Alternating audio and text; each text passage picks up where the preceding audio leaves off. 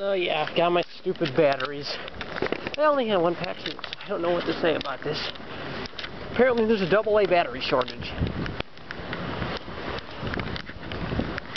Although to be fair, I don't know. I'm complaining because uh, East Coast apparently didn't have internet today, so yeah, at least I got that. You know, I'm honestly happy too in some ways, like bad boxes. Oh hey, there is lightning to the west of us. But yeah, I'm honestly kind of happy because I thought a tornado was going to hit my house earlier today. And it, it basically weakened before, well, I think it shifted direction too. It weakened and it shifted direction, so nothing happened. But yeah, that was that gigantic one that hit Ottawa. So, yeah, always nice when you have a storm with a confirmed large, not just a confirmed, a large confirmed tornado on the freaking ground, or on the path to you. It's tornado, it's on the ground. I don't know why he's going to say on the ground. It's also the most redundant statement ever. Tornado on the ground. I know people say it in the heat of the moment, I probably will too if I ever go chasing again, which I hope to, but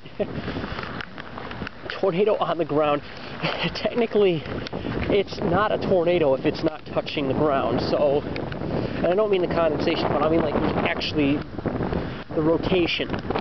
Rotation can touch the ground without the condensation funnel ever doing so. In fact, there's some circumstances where the condensation funnel doesn't even exist really. And you don't even see that there's a tornado there until it hits the ground and starts picking up stuff. So, yeah.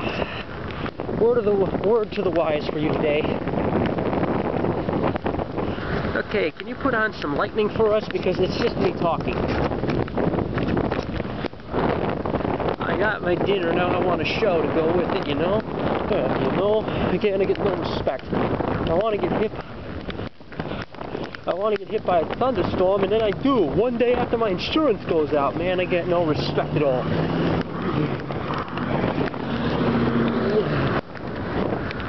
I'm getting some more heavy rain, but because you can totally see this shit in, you can totally see this in my camera, you know. It's actually getting a of wet, so one of the shits.